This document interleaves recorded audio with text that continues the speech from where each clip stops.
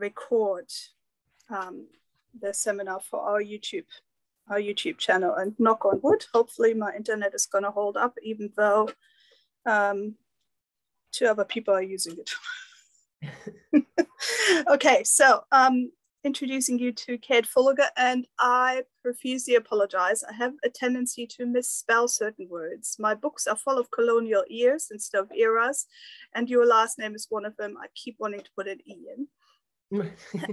so um, entirely my fault. I've got it right in about half of the instances and wrong in the other half. So Kate Fullager, with an AR at the end, is Professor of History at the Australian Catholic University and also at the moment co-editor of uh, History of Australia, the journal. Um, she is a specialized specialist in the history of 18th century world, particularly the British Empire and the various um, indigenous societies they encountered. Um, she is now at the ACU, and I've been um, saying to all and sundry, ACU have been recruiting all the best people recently. Hence, we have two of them on our lineup again for next semester. Um, so we're very pleased um, to have you, Kate. She um, graduated from the ANU with an honors degree in history, then did her MA and PhD um, at Berkeley. Um, went around the place a bit, Sydney, Macquarie, um, various visiting fellowships, York, place close to Emma and my heart, my heart, uh, Duke, Yale, Princeton. So been all around the world um, and is now at ACU and officially Melbourne campus, right? Yes. Yes, officially the Melbourne campus. She's the author of a number of books and also co-authored several books. And the latest one is the award-winning The Warrior, the Voyager, and the Artist, Three Lives in an Age of Empire. Um, and we did have the link to your profile on the program that was circulated. So I assume I'm preaching to the choir and everyone is well informed anyway. So today we're very excited, looking forward to hearing about remembering Cook again, the state of the field. And without that, I'll hand over to Kate. Um, roughly 45 minutes. As I said, I'm not going to be too German about it. And then we'll have another roughly 45 minutes for question and answers. Wonderful. Thanks so much, everybody. I'm sharing my screen now. Is that working for you guys? Yes. I've got presenter view, Kate. Oh, yeah, presenter view. Hang on. It should be right, shouldn't it? Mm. Slideshow. Yeah, we've still you've got to change the um have you got two screens? Oh, that could be it. Hang You've got to change the screen that is the main sc- screen you want to share from. Sorry. Did you see swap displays, Kate, at the top of the options when you had the slideshow on before? There's a little swap displays um, arrow set. Sorry, it's Emma talking to you. Cool, cool, cool. Yeah, do you see the swap um, displays next to the tips? There's a swap displays. Yes. Uh, awesome. Yeah, try that. See if it works. Oh, yeah. perfect. You guys are much worked out myself yeah. the other day. and fabulous. Good. Um, okay. Well, here is uh, this is actually not even that necessary, but I thought I'd put it up there instead of just having me uh, face you. Thanks so much for having me, everybody. Um, as I said to Claudia when she originally um, invited me, I was absolutely delighted to be invited so I could go to an actual campus and meet real historians in person, but not to be. But thank you for tuning in and listening to me anyway. Um, I am speaking to you from Ngambri and Ngunnawal speaking land, um, and I appreciate all the different lands that you um, either put in your uh, name or in the chat. Um, I'd like to pay my respects particularly to any Indigenous people who are zooming in, um, and I might also warn them that there are some distressing images for Indigenous people in this presentation.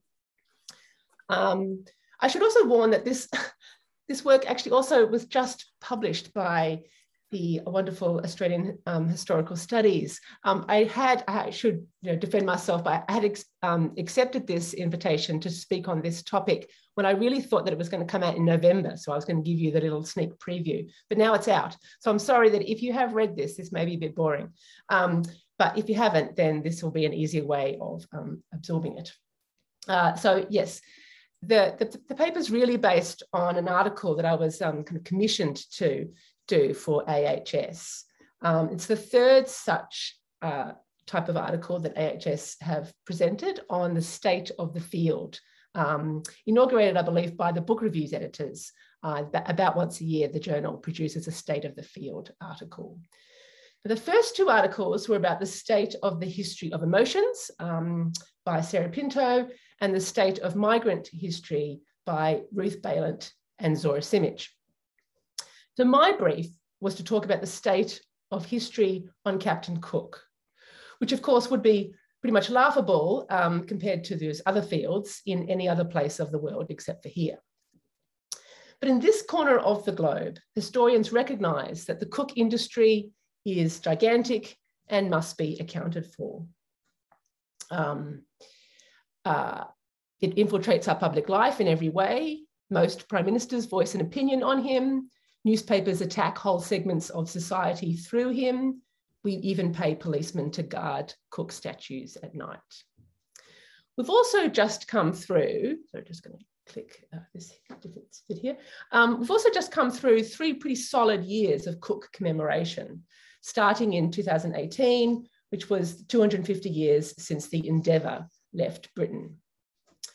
So, uh, so how did I go about limiting uh, the scope for this review um, survey?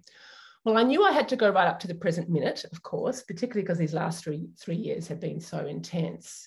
And I knew I had to include the full range of work on Cook, not just focus on scholarship. In this field, the non-scholarly output, output has such a strong effect that it arguably shapes the direction or the possibilities of historical research, so it can't be ignored. And I decided to start in the late 1990s. Now, my somewhat arbitrary, is this going to work? I, there we go. Um, my somewhat arbitrary start maker was an influential um, review essay um, by Greg Dening on the then most recent cookbooks. Um, and that, that sort of state of the review um, of his own essay was published in the William and Mary Quarterly in 1997. They never stop appearing, these cookbooks, is how Dening began that review essay. Well, indeed. I should add that Dening included in his essay the results of a search that he conducted in 97, which showed 4,588 titles on James Cook in the Mitchell Library catalogue. It's not quite a search that is replicable today, but I tried to replicate it as much as I could and I came up with 6,689 titles published since Dening's essay. So Dening's review is a good marker for me because it finished off, as it were, an earlier era of cook work that had been very much centered on scholarship. Dening focused in his essay on the fiery debate just then uh, subsiding between two American anthropologists, Marshall Sahlins and Gananath Obeyesekere, which had really been about Cook's death or how Cook's death was figured in the Pacific imagination of the 18th century. Today, the energy of Cook work is more often seen in galleries, museums, podcasts, and trade books, and it tends to avoid the moment of death, favouring instead Cook's life or his afterlife. And it looks at how those how um, these these topics, Cook's life and his afterlife, uh, manifested in British and in settler imaginations as much as it did in the Pacific world. So in the end, I divided up my article into what I think have been Cook's three main contexts during the last quarter century. And these are Cook in British history, Cook in the settler colony, and Cook in the Pacific. Now, my general thesis is that Cook studies is unusually dominated by Australian and New Zealand concerns even when they're produced by other peoples and about Cook in other places. And further, since those Australasian concerns have escalated in tension over the last 25 years, Cook studies in turn has become an increasingly fraught field.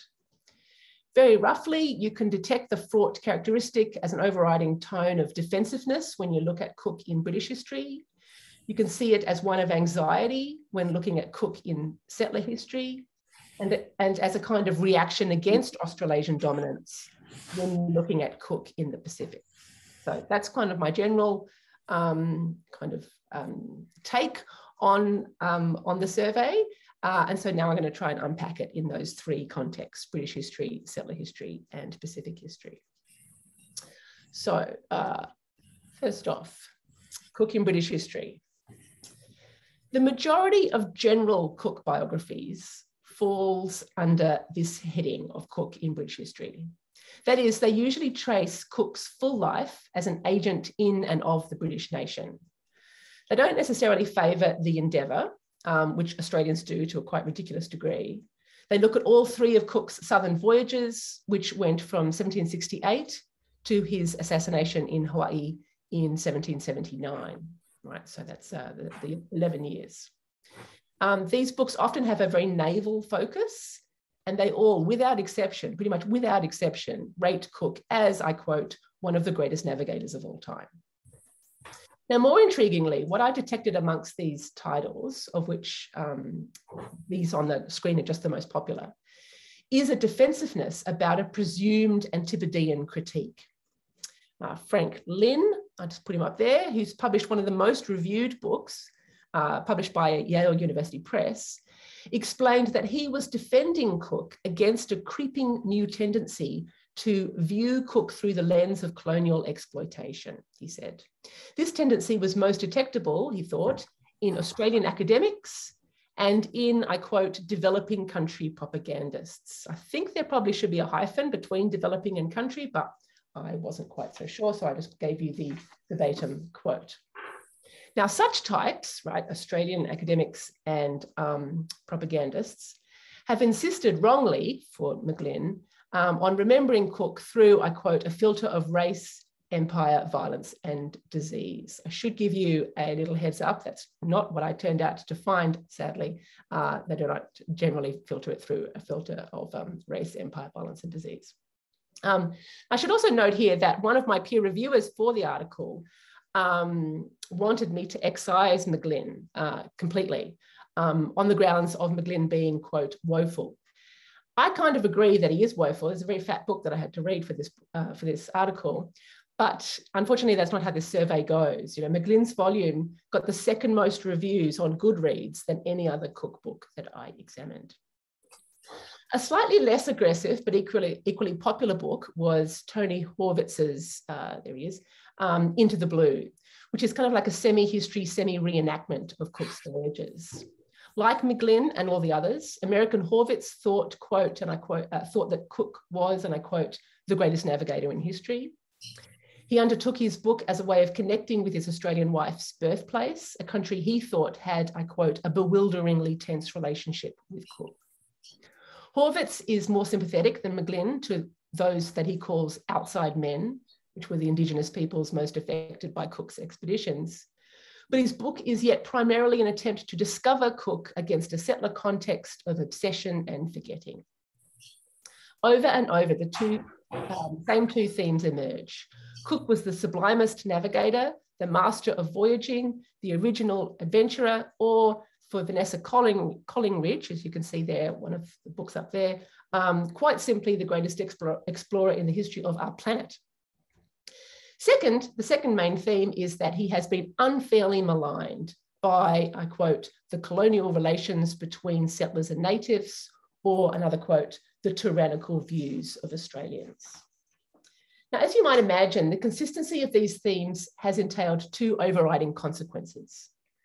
The first consequence is that for Cook to be the greatest of all time, the voyaging skills of everybody that he sailed amongst, namely the Indigenous people, have to be less impressive despite the fact that their entire heritage, if we're talking about Pacifica people, is bound up with voyaging and that they were already in every place that Cook went to. The second uh, consequence is that defensiveness becomes the chief hallmark of recent Cook work that understands the captain as a British actor.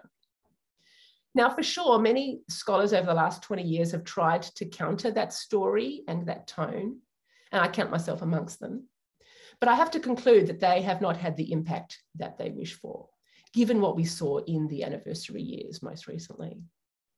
This is partly for the usual reasons of academic kind of marginalization compared to more popular or best-selling books.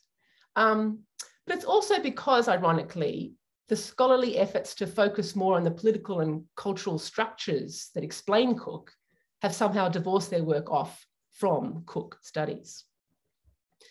The more common revision to the quote, sorely defended heroic cook is either a funny fiddle with imperial chronology or a retreat into science. And what I mean by that is that some scholars, and I'd name um, John Robson here and Glyn Williams, both of their books are up there on that little montage. Um, those scholars admit that the colonial critique of Cook does make him look a bit problematic, but really Cook came before empire proper. So it's not as powerful as a critique as you once thought. That's their general kind of gist. As an historian myself of 18th century slavery, dispossession, and trade, though, I do find the idea that empire hadn't begun by the 1770s to be eyebrow raising, to say the least. Other scholars, as I've said, um, have thought instead to divert attention to the astronomical, cartographic, botanic, zoological, navigational, and ethnographic advances made by Cook's expeditions, right? So if it's not a fiddle of the imperial chronology, then it's kind of a, a, a refocus on the science of Cook's voyages. And that science is truly overwhelming um, in the context of European science at the time. The effect of this kind of redirection on science, though, whether it's deliberate or not, has been to sanitize Cook by focusing on the volume of the gains rather than on their decidedly Western metrics, methods, and effects. Now, many British public events about Cook in the last few years testify uh, to the victory of the heroic Cook um, subject, or at least to the hedged about Cook, right? So if not the, the heroic greatest navigator of all time, then, he, then he's at least the Cook that is maybe not quite as imperial as he once thought, or um, just basically a herald of science. Right. These include uh, exhibitions in Lincoln in 2014, at the Natural History Museum in 2018. Uh, all of those focused on the precious objects brought back by Cook, reducing each of those relics to relics of science rather than relics of um, of, of empire um, uh, that included smaller events in Cook's native Yorkshire aimed to, quote, celebrate Cook's groundbreaking achievements in cartography and sheer competence in captaining ships, right? That's from the Yorkshire crowd. Uh, and the Royal Mint um, in the 2018 celebratory year produced commemorative Cook uh, coins, quote, in tribute of Captain Cook's legacy of scientific discovery. The Royal Mail followed suit issuing 10 stamps to mark how Cook, quote, set new standards for cartography, scientific inquiry, and exploration. And there were also, as some of you might know, three mega exhibitions in London that don't fit that, that, that kind of um, heroic bill. Um, and I'm going to talk about those three exhibitions at the end of the talk.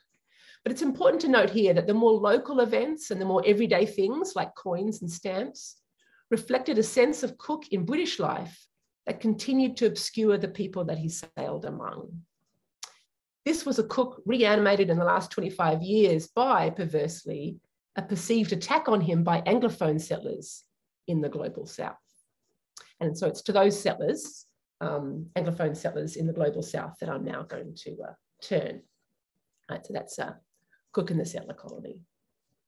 Now, as I said, as much as I've loved to, as much as I would have loved to discover a bunch of tyrannical Antipodeans filtering Cook history through a lens of race, empire, violence, and disease, uh, it's not, as it turned out, what I found.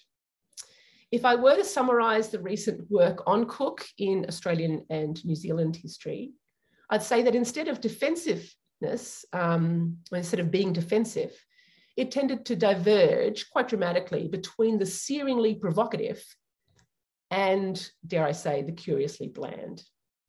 This effect is the result not of some imagined critique going on elsewhere, but of an escalating struggle at home over Cook's role in unstable settler origin stories.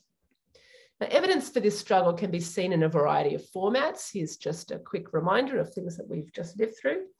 Uh, for example, it appears in the confounding remarks by some political leaders, in the conflict over statues, in the polemicization found in short medium um, uh, short, short form media accounts, right? So just to uh, remind us of our recent history, 2018 saw for the first time Australia's Deputy Nationals leader um, elevate uh, to the parliamentary executive the common schoolyard mix-up between Phillip's arrival and Cook's landing. She thought First Nations feelings deserved to be recognised, but, quote, the reality is 26 January 1788 is when the course of our nation changed forever and Captain Cook stepped ashore. Uh, New Zealand might perhaps best illuminate the Cook statue conflicts. I know that we thought we had Cook statue problems, but New Zealand had to, in, a, in, in sort of a more dramatic way. Um, there were defacements by Maori people and by Maori's, um, Maori allies. um, that occurred so frequently and with such forceful eloquence about invader theft. You can see the graffiti there. Um, uh, there was eloquence also about prior possession and about Indigenous connections to worldwide Black movements that some resulted in, um, or that they resulted in one of them being removed and some others being boarded up. You can see my middle picture there is a picture, that sort of plywood box is a Cook statue boarded up. Finally, both nations have endured the doubling down of Cook apologists in the populist press. Those questioning the number and origin of Maori killings, for instance, or those likening critics to the Taliban. And rebuttals, perforce, of course, have gradually become ever more basic, right? So to counter these brutish views, you have to use up all the oxygen available by saying the kind of the obvious rather than trying to advance the nuance, right? And that's what I mean by the kind of the, the, the, the problem of the polemicization of this topic. The struggle, in other words, is very public, can reward participants on either side, depending on the political party or the media mogul in power, but it mostly results in ongoing simplification of the terms of debate. Now, longer form analyses of Cook's life in the Antipodes from the, from the settler regions um, have responded to this atmosphere in mostly, I'd have to say, pretty bland ways. True, they tend to resist the kind of grand claims to singular greatness that repeat so much in those general biographies. Um, like, for instance, even those books by well-known contrarians like Peter Fitzsimons, Geoffrey Blainey, and John Molony stop short of praising Cook as if the endeavour sailed amongst people without history. But between a consciousness of what can no longer stand, and I think that Fitzsimons, Blainey, and Molony all know what can no longer stand, um, but between that and the inevitably kind of ongoing draw of Cook, these kind of productions often arrive at remarkably attenuated theses, remarkably kind of bland theses. Fitzsimons deploys his usual overreading of the sources in order to find out his, his ambition was to find out who the real Captain Cook, uh, James Cook was. But in the end, he offered little advancement on good bloke, taciturn, knowledgeable, determined. Blainey trumpets that his book will, quote, challenge accepted views. But ultimately, I think it suggests only that Aboriginal people were as ingenious in their discoveries of East, Eastern Australia as was Cook. Molony goes a bit further than Blainey in admiring Australia's original inhabitants, though again, he does so mostly to match them to the excellence of Cook. While all these three titles, um, uh, uh, while all these three books kind of title their books um, on some variation of Cook, so it's James Cook, Cook's uh, Voyage, or just Cook claiming the land, um, really their only concern is the endeavour. Each is really or only a work of nationalist history, understanding the endeavour as some kind of foundational conveyance system. They focus disproportionately on Australia, with their next best interest being New Zealand. This program, uh, sorry, so um, speaking of New Zealand, I might add that the New Zealand government's official celebration of the 250th anniversary also falls into, dare I say, the curiously bland. Um, this program actually looked pretty refreshing to my Australian eyes. Um, it was given a Maori name, uh, Tuia uh, 250, um, and it included as its centerpiece three European replica vessels and three Pacifica vessels touring um, at multiple New Zealand venues throughout 2019. But upon closer inspection, the program drew quite marked criticism from Maori people, not so much for being um, kind of a blatantly racist apology for Cook, but for dulling all the politics of the commemoration in its insistence on mutuality. The terms shared and dual heritage were bandied about so much that even I got sick of it. Critics protested the flattening of Cook's arrival into an encounter that started something mutual. They reminded the government that it was rather really an invasion that started the disadvantage of only one of those parties for centuries. There have been some other Cook exhibitions um, recently, and I think um, that, that I think were also a bit bland. But I'll leap over those now to discuss the flip side of that kind of muted response, which is the kind of the spiky or the provocative response. And a beautiful way into uh, those examples is Alice Te Punga Somerville's article from 2019 called 250 Ways to Start an Essay About Captain Cook. Um, that article, I believe, in 2020 was then turned into this short book with this um, cover that you'll see here. Now, to paraphrase the article's 210th um, way, uh, Somerville writes, if you don't come out of a history about Cook both angry and sad, then it has told you a lie. In the settler colony, there's no room for, for blandness, is what she's intimating. To understand how Cook exists at the epicenter of identity discourses for Australians and New Zealanders is to know that festivals of mutuality are just not going to cut it. Te Punga Somerville's article is in fact a perfect summation of what such a realization produces at this moment. It is in essence 250 paragraphs of stalled ideas, burdened thoughts, impasses. Because of the state of origin stories in the settler colony, we can't move forward very well on Cook research. We can't seem to get beyond either extreme kind of dumbed down, you know, silliness, um, beyond bland worry, or beyond deeply frustrated repetitions of how Indigenous sovereignty still has no air in settler colonial life. We repeat and repeat important critiques, but ones that feel so old to so many by now. And among the most compelling examples of this latter sentiment, the kind of the repetition of what should be kind of now taken for granted, but is not, I would say are artworks made by Aboriginal, Torres Strait and Maori people in the last 20 years. Now I go into this, um, this kind of part of um, the response in more detail in the article, but I might just briefly mention here the installations of Lisa Reihana, Rachel Rakini, uh, Rakena, and Johnson Witehira, the poetry of Robert Sullivan, the prints of Christian Thompson, Steve Gibbs, Michael Cook, the sculptures of Jason Wing, um, the paintings of Gordon Syron, Daniel Boyd, Vincent Namatjira, Marlene Gilson, they go on. Together, these artistic outputs describe the chief modes by which Indigenous people have used Cook to repeat their comment on settler colonial conditions, right? And that is the way that they override what might have been. Here we can see a Gilson um, picture. Uh, the way that they erase First Nations presence. It's a beautiful picture of erasure, I think. Uh, the way that they could yet change in the future. This is Namatjira's rather hopeful painting, but also the way that for some, they constitute outright banditry. It's not all stark um, polemical refutation, though, or boring kind of both sidisms. I point out here that, uh, that, that, I think that there are at least two important exceptions two works that both resist blandness and help to add nuance to understandings of Cook in the settler colony. And these were the two ones that I picked out anyway, were Aileen Moreton Robinson's The White Possessive and Maria Nugent's Captain Cook Was Here. Um, I possibly would going to be now preaching to people who actually know these books quite well, but I will just quite quickly uh, wrap up or my, my impression of, of their contributions was that Moreton Robinson's book uh, was a work of critical Indigenous studies that deconstructed Cook's words and acts of possession uh, so as to trace exactly how they triggered ongoing denials of Indigenous sovereignty um, in Australasia.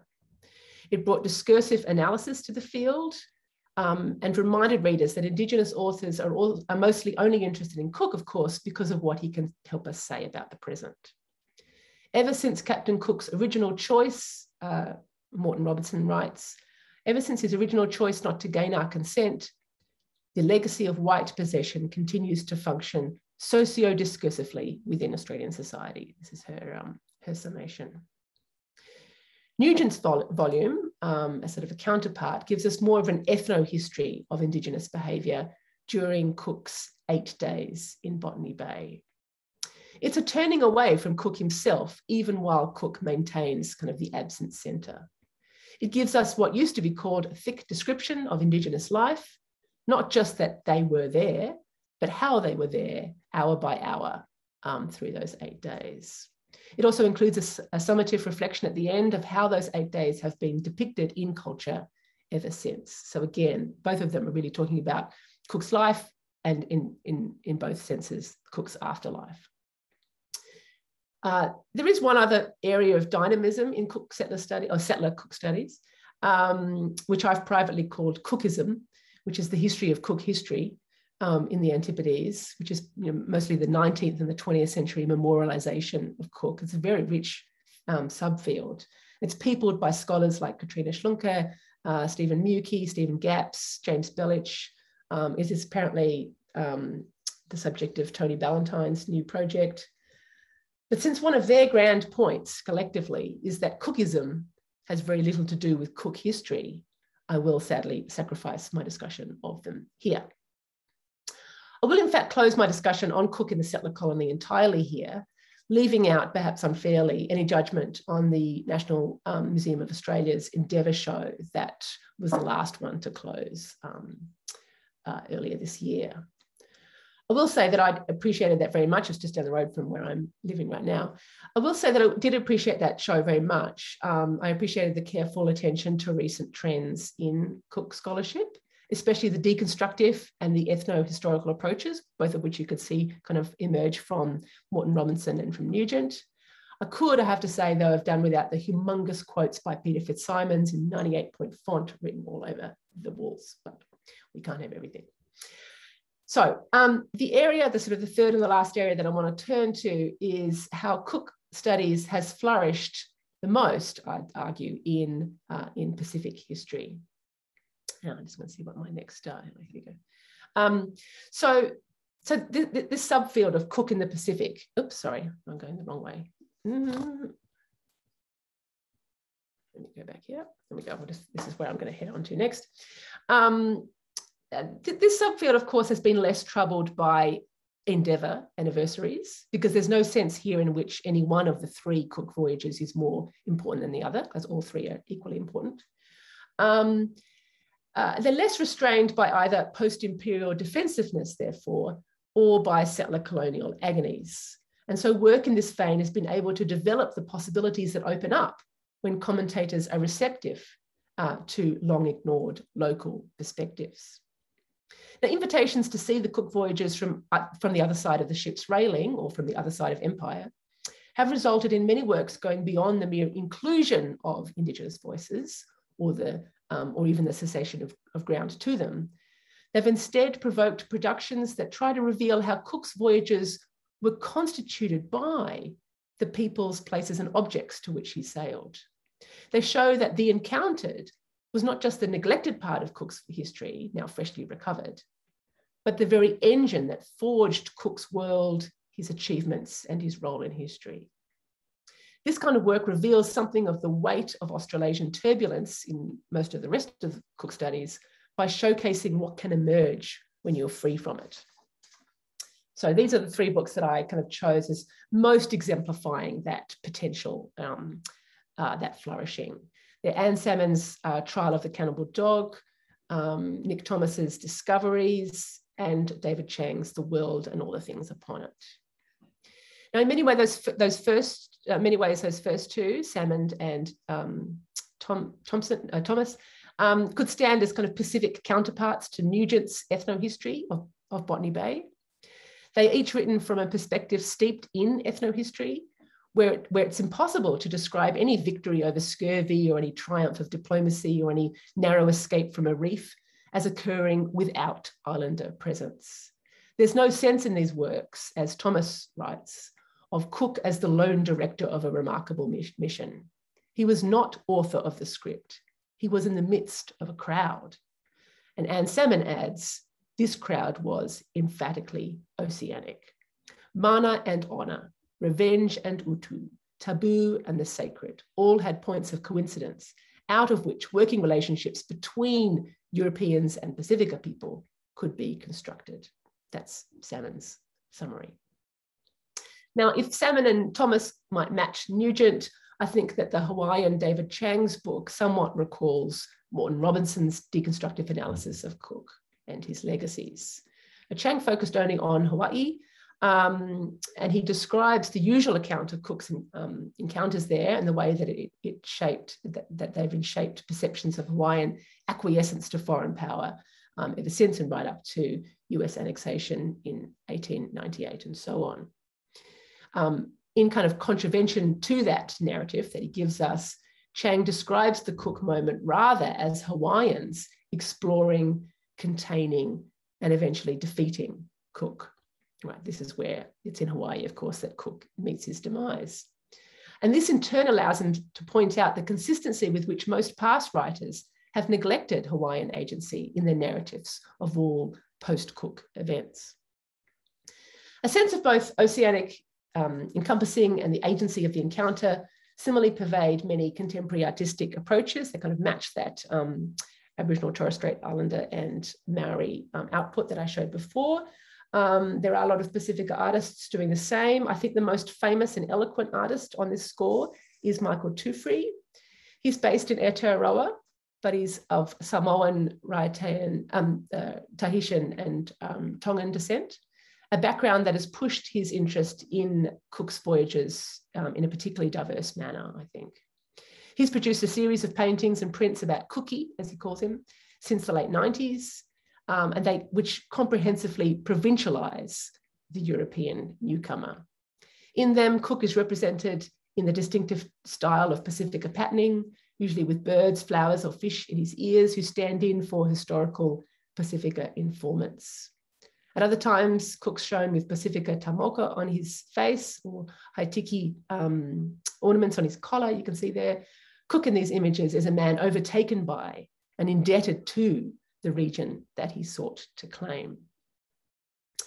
Perhaps the best way to survey, though, how this Pacific centered work has impacted the exhibition space, the best way to wrap up, in other words, is to look at the three big blockbuster shows that um, opened in London on Cook in 2018. The first, biggest, and splashiest was the British Library's Voyages show. Actually, it wasn't technically the biggest, someone just corrected me, but it was definitely the splashiest, um, which happened at uh, the British Library. Now, rightly aware that it holds some of the rarest documents about the three Cook expeditions in the world, the library was virtually compelled to stage a blockbuster in that, in that year. However, through although it included keynotes and um, uh, from some of the game changers just discussed here. Um, and although it did, uh, that it also constructed by far the most extensive and enduring website for those who couldn't go, the exhibition was maybe the least representative of the new Pacifica-based scholarship. In, it included a lot of detail about Indigenous peoples, but it never quite made the connection between those aspects and Cook's ability to function in Oceania. I'll quote from the critic Rosalind Carr, who went there, a fellow historian who went there, and she said, it resulted in an uncomfortable neutrality. Without a courageous interrogation of the myths of Cook, the broader contextualization, the explanation of how the guns existed alongside those botanical drawings, it does not go far enough. One could leave this ex exhibition without a proper understanding of why some Pacific Islanders annually celebrate Cook's death a much smaller, but in some ways a kind of a reply to the British Library was the British Museum's Reimagining Cook. This show was bolder in borrowing works that it didn't happen to hold. It was bolder in thinking more laterally about Cook's period, and it was bolder in foregrounding Pacific views over British accounts. It did draw, though, some criticism for being so very small and for setting up Pacific objects in such a way that it could maybe imply naivety to um, European relics can see the kind of the, the references to these commentaries in my article. But overall, it was applauded for showing how Cook's interactions were complex, multi-directional exchanges in which Indigenous knowledge and action were key. That's um, a quote from, from the show. It resisted neutrality, though it may have introduced in the process some kind of obscuring, I guess, a little bit by introducing the idea that it could have been a small and naive um, collection um, that resulted. For my money, I think the most successful show was the one shown at the Royal Academy. It was called Oceania. It was patently a nod to Cook's anniversary year. There's no accident that it occurred in 2018, um, but it uh, it eschewed actually any direct referencing to that kind of obviousness in its titling. Right? Cook doesn't appear in the title. It's just about Oceania. That most London subway users would have yet understood it to be a Cook show, though, uh, when they saw it in, um, you know, on their travels through the summer of 2018 is perhaps some tribute to the oceanization of Cook studies. Cook appeared in the exhibition, as did some analysis of the problems of Cook's collection of curiosities and his representation in the Pacific today. But the vast majority of the show was devoted to centering oceanic skills, oceanic arts, and oceanic histories. It opened with a giant blue wave weaving that led to an in depth discussion of oceanic navigation and ended with the ways that islanders have, on the whole, absorbed, defied, or otherwise survived European empire. It was generously spaced in sumptuous rooms. It celebrated the world that Cook moved through. And it was emphatically not neutral about awarding Cook a new position in Cook history. I think Oceania points to the most promising horizon for future thinking about Britain's famous uh, Pacific expeditions. After three especially intense years of Cook remembrance, Cook studies may ease up a little now um, in terms of its pace and its enthusiasm. But I have to say the steadiness of outputs over the last 20 years um, casts some doubt on that prediction. Cook attracts commentators, especially in um, uh, uh, uh, scholars who are interested in the imperial problems of British history, um, in the reckoning of settler colonial nationalism with the past, and in the realization of the Pacific's neglected complexity. And none of those three issues look like they're going to disappear in the foreseeable future. So I think it, it augurs more Cook studies. My compressed survey of the field identifies three main modes in recent Cook studies. Evidently, all those three modes are open to contestation. Um, and of course, they kind of bleed into each other um, on occasion. It would appear, though, that the initial two modes, the ones about Cook in, the, in British history and Cook in the settler colonies, um, are the most turbulent or unresolved. Both seem to be reacting to persistent tensions in Australian and New Zealand societies, imagined or real, but none that can begin to heal while the question of original sovereignty continues. The Pacific Islands still wrangle, of course, with the brutal legacies of colonialism today, but there, I think greater degrees of Indigenous autonomy may account for the ways that this region has inspired some freer or newer understandings of its Cook past. Some productive ways forward for Cook studies may involve awarding greater attention to the nature of empire in which um, Cook operated. Another way forward, as exemplified, I think, by Nugent and Moreton Robinson, is for histories of Cook to be more open to other methodologies um, than history, than historical, um, more focused on what can be refigured, uh, and more explicit about the times in which they're made. And finally, Cook studies should increasingly recognise that its very existence as a field owes chiefly to Cook's three voyages to Oceania, which in turn owed so much to the lands and the societies that they moved among. As Michael Tuffery recent, recently commentated, um, it's time to turn to the rest of the mob who were actually there sorry, went on a little tiny bit long, but I will um, conclude just here.